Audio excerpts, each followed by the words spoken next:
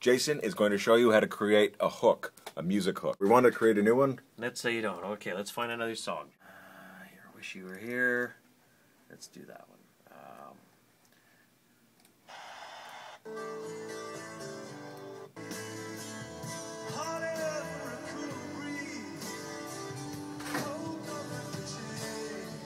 okay, let's just use that.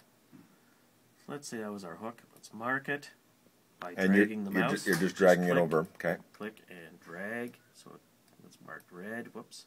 You can do a little fine tuning by moving the edges. Okay.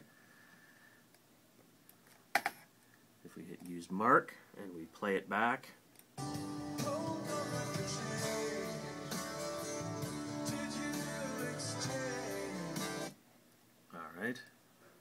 I don't know if that's a good hook, but I'm not. I'm not the expert on it. good So for the- let's let's use that. It's Good for the demo. All right. purposes. So you like that hook? Click set hooks. Now it's been set and save. So now, see you can, we can't see it now, but let's if you wanted to, you can see this view hooks button is lit up. If you Now- click it, it'll jump right to the hook. Now you don't have to give it any kind of name because it's basically building sort of a subdirectory under that song. That's correct? right. It's just setting an in point and an out point on the song. Okay. Good. Okay, this part is done. So now we go over to our hooks editor. Where do you find that hooks editor? Well, let's. If you uh, had your screen set up like this, you would click on the button that said Hooks Editor. And let's make a new hooks log. Clear all entries to make a blank one, or you can just load up an existing one and, and change the song in the middle. Uh, once you've got your playlist set up, you can just keep changing the song in the middle. So let's do a new one. Audio library select. Uh, we don't have any pre-produced pieces yet, so I'm going to grab some splitters. Yeah. So the wraparound Two pieces minute that splitter. that Let's Gary put that in the first cut. you'll have the numbers for that, and so you'll Yep. search it by whatever number and source. Second cut, audio library select. Go into your music and find your cut. Uh, that uh, Wish You Were Here was 603L. There it is. Wish You Were Here. And then your, your extra cut. So uh, let's find that one. Uh, whoops. There they are. Let's go with a just a uh, classic rock sweeper. Okay, so there's no uh, aux mark set here yet. It's just a playlist. So if we play it back, One cue in two minutes. so you get a lot of silence. That doesn't sound very good. So you can see it goes to the same endpoint that we set over there. So that doesn't sound very good. So we can tighten that up now. So if we start at the beginning, you hit start, and then when you want the next event to fire, hit the set a EOM, which will set a temporary aux mark for that cut. There's one cue in two minutes. You hit it, goes to the next one. And you want a little overlap when you want the last one. Let's say right here.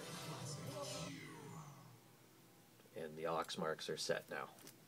And you can see them marked with the little red lines. And you can you can tweak them a little by dragging the lines. Uh, so if you want to hear the whole thing together now, hit audition. Oh no, sorry. Click your first one. Hit audition. There's one cue in two minutes.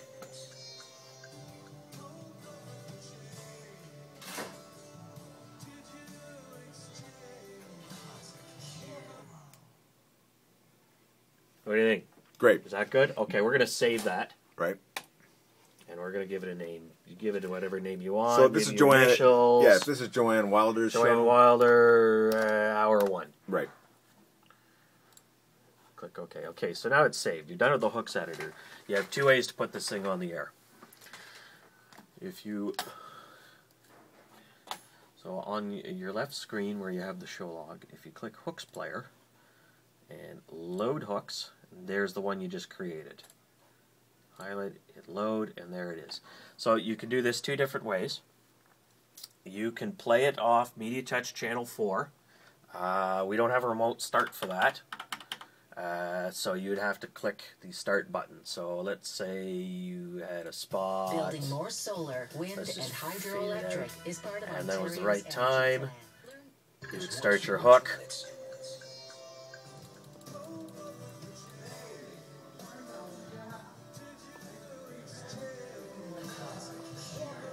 So for the purposes of the and then you splitter, can fire next event. so what what this will the way we're going to use this is that um, uh, the announcers are going to actually hit this off of uh, off of a talk break, so they're off of Yeah. a sweep rather. So the song's just going to be fading out, and then you hit it manually from. So you the, can uh, hit it manually there, or your other option is insert it right into your log. Beautiful. So if you had it running right in, if you've got it all set up the way you like it, and you wanted it in front of, let's say, uh, let, us just put it in front of Red Rider here. You'd click so it's highlighted, and click insert to log. Beautiful. Well, you put it before a commercial. Oh, but, I put it. uh, I've actually put it after, but um, you can see that it took the ID, the Floyd cut, and the sweeper, and inserted all three events. It'll have it'll have the in and out points that you set, so that when you let this thing go, and then you could let this thing roll on auto through a break if you wanted. no, hit it tight. Yeah. hit it manually. It's tighter. Okay. So this song, then when this song ran out, here we'll stick a spot here. So when this song ran out. There's more Q in two minutes. Very cool. Awesome. It's that easy. That easy.